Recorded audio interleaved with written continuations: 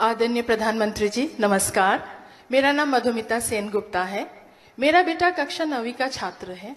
महोदय पहले मेरा बेटा पढ़ाई में बहुत अच्छा था। टीचर्स अप्रिशिएट करते थे। लेकिन अभी कुछ समय से ऑनलाइन गेम्स की तरफ़ उसका झुकाव कुछ ज़्यादा ही बढ़ गया है जिसके कारण उसकी पढ़ाई पर फ़र्क पड़ रहा है। मैंने उसे बहुत समझाने की कोशिश की है लेकिन मुझे लगता है मैं असफल हूँ। कृपया मेरा मार्गदर्शन कीजिए कि मैं इस स्थिति को कैसे संभालूं। धन्यवाद। ये पबजी वाला है क्या?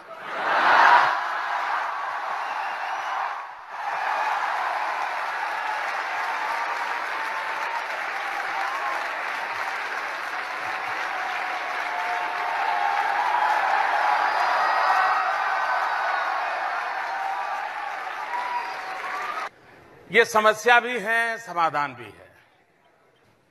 हम ये चाहें कि हमारे बच्चे टेक्नोलॉजी से दूर चले जाएँ। फिर तो वो एक प्रकार से अपने सारी ज़िंदगी से एक प्रकार से पीछे की तरफ़ जाना शुरू होगा और इसलिए उसको ये टेक्नोलॉजी के संबंध में प्रोत्साहित करना चाहिए। लेकिन उस टेक्नोलॉजी का क्या उपयोग करता है? क्या टेक्नोलॉजी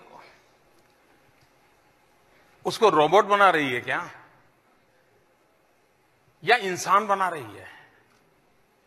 अगर माँ बाप थोड़ी रुचि लें, कभी खाना खाते समय चर्चा करें टेक्नोलॉजी की, कि बताइए भाई, इन दिनों क्या चल रहा है? टेक्नोलॉजी के क्षेत्र में क्या नया आया है? किस प्रकार के नए नए ऐप्स आए हैं, उसमें क्या होता है?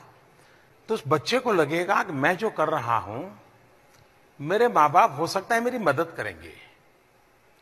तो पहला काम तो आप किसी को रोक नहीं मैं देख रहा हूँ यहाँ करीब करीब हर एक के हाथ में मोबाइल फ़ोन है। हो सकता है कुछ लोग यहाँ प्रधानमंत्री के कार्यक्रम में होंगे, लेकिन कोशिश करते होंगे दोस्त को बताने के लिए। मैं यहाँ बैठा हूँ।